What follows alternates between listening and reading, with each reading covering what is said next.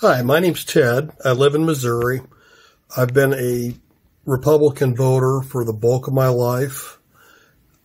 I voted for Donald Trump begrudgingly in 2016. I will not be voting for a single Republican this year. I will be voting straight Democrat. This country has been usurped by a cult it's not the America that I know of. I'm 62 years old. I never envisioned American democracy would be in danger, but it is. And I hope everyone else can see it as obviously as I do. Thank you.